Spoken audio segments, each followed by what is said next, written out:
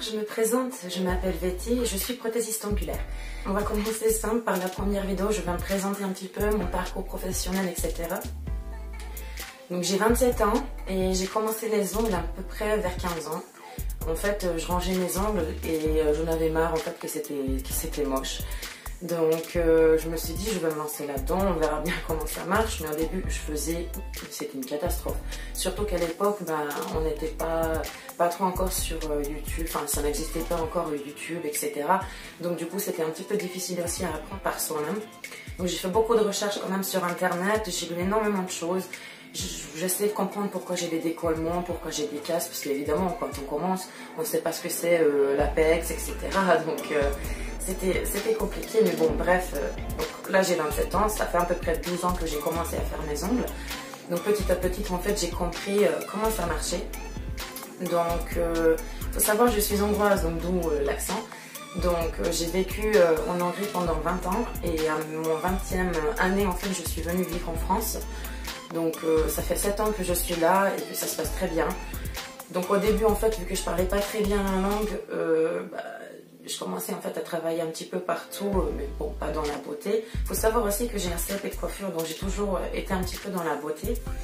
Donc euh, j'ai commencé en fait à travailler un petit peu partout, dans les restaurants, dans les bars, dans les magasins et tout ça. Et en fait j'ai eu beaucoup d'échecs, j'ai eu beaucoup de problèmes, que ce soit avec les, les responsables ou alors le travail ne m'a pas plu, etc. Et là, dernièrement, j'ai travaillé dans un bar à ongles euh, qui s'est très très mal passé. En fait, on s'est fait arnaquer par euh, les patrons. Donc, euh, bref, c'est pas non plus le sujet de la vidéo. Mais je me suis dit que je vais me lancer en tant que prothésiste angulaire. Donc là, ça fait deux mois que je me suis installée et que ça se passe très bien malgré, malgré le confinement. Donc vu que je me suis, je me suis dit qu'il y a le confinement, je vais me lancer sur YouTube. On verra bien ce que ça donne. J'espère que que ça va plaire, etc. Donc ça fait deux mois que je me suis lancée, euh, vu que j'ai travaillé un petit peu dans le bar j'ai gardé un petit peu de clientèle, donc déjà ça c'est très bien, parce que du coup j'ai pu commencer avec un petit peu de clientèle, pas beaucoup mais c'est déjà ça. Euh, donc du coup j'ai passé une formation, comme vous voyez juste derrière, j'ai passé une formation euh, pour les ongles normalement, enfin c'était trois jours de formation. Après, c'était pas pendant ces trois jours que, j'ai appris tout ce que je sais maintenant. Parce que ça fait quand même 12 ans que j'ai commencé. Donc euh, pendant ces 12 ans, en fait, j'ai appris au fur et à mesure pourquoi j'ai des décollements, pourquoi j'ai des casses, euh, comment construire l'ongle pour que ça tienne, etc. Donc du coup, euh, et puis préparation d'ongles, etc. Donc, donc voilà.